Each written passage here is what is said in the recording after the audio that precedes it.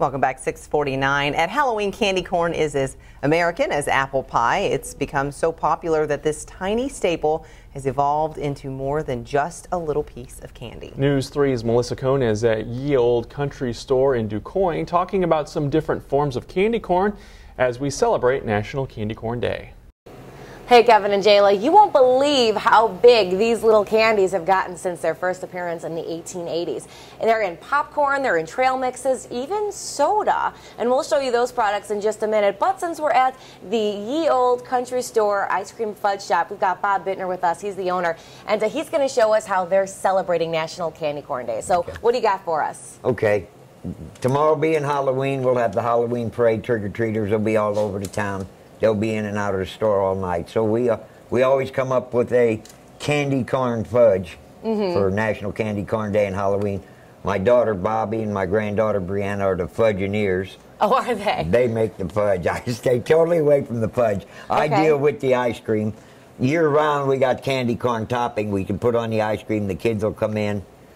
They can get candy corn sundaes. We'll throw it in, make them a candy corn milkshake. It just, we can do whatever we want here. So well, it sounds pretty we delicious. We just stay totally relaxed. It is. It is. And you have another fun recipe you wanted the, to share? One recipe that I love to do with this stuff is we mix candy corn, a bag of candy corn with a can or two of salted pretzels in a big bowl you eat that like a trail mix, it tastes just like a payday candy bar. Okay, so it's pretzels or peanuts? Salted peanuts and Salted candy Salted peanuts corn. and candy corn. Well, I know what I'll be having for lunch today. That sounds pretty yummy. And what's so wild about this is that candy corn, as I mentioned earlier, has really gotten into a lot of other areas besides candy. I stopped by Target yesterday and found candy corn kettle corn. So what it looks like is that they melted some of the candy corn and sprinkled it all over some uh, kettle corn.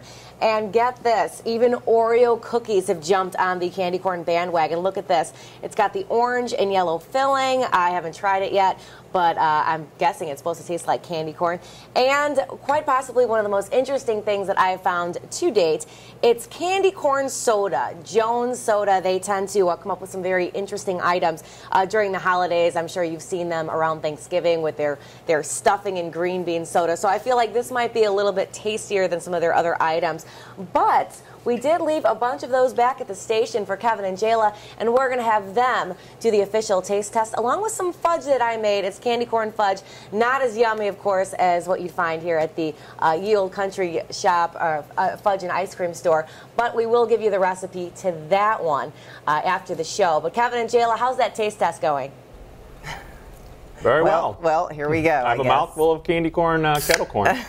I guess I'm going to try one of the Jayla's going to have that. Oreos. And Brent, turn around for a yes, minute. Yes, I know. My trainer, if you're watching, he's going to kill me. This is the uh, candy uh, corn soda.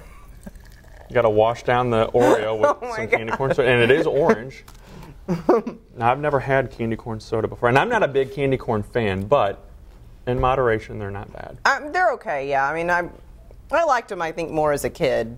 Wow. They're very sugary. It, this is very sugary. And then let's get. I, oh yeah. I think Landon, you showed it earlier, but let's get a shot of this uh, fudge that Melissa made. Yes. Very, very creative, very decorative. Melissa, uh, our professional baker. Yeah, she really does a good job. She moonlights. And since she made it, I'm going to try it. I can't. It's too rich.